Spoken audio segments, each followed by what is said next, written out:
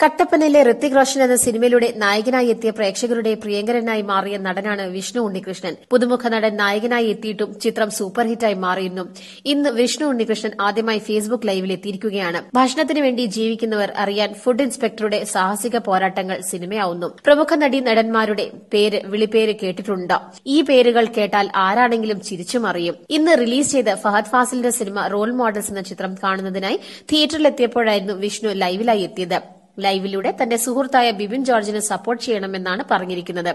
അതിന്റെ കാരണം ഇതാണ്. കട്ടപ്പനയിലെ ഋത്തിക് റോഷൻ നാദൃശ സംവിധാനം ചെയ്ത് ദിലീപ് നിർമ്മാണം നയിച്ചത് ചെയ്ത സിനിമയുടെ കട്ടപ്പനയിലെ ഋത്തിക് റോഷൻ. ചിത്രത്തിൽ നായകനായിരുന്നത് വിഷ്ണു ഉണ്ണികൃഷ്ണനാണ്. ഇന്ന് ആദ്യമായിട്ടാണ് താരം ഫേസ്ബുക്ക് ലൈവിലെത്തുന്നത്. ഇതാണ് ഒറിജിനൽ അക്കൌണ്ട്. തന്റെ പേരിൽ ഒരുപാട് അക്കൌണ്ടുകൾ ഉണ്ടെന്നും ഇതാണ് തന്റെ അക്കൌണ്ട്. ഇതില്ലാതെ വേറെ അക്കൌണ്ട് ഇല്ല എന്നും വിഷ്ണു പറയുന്നു.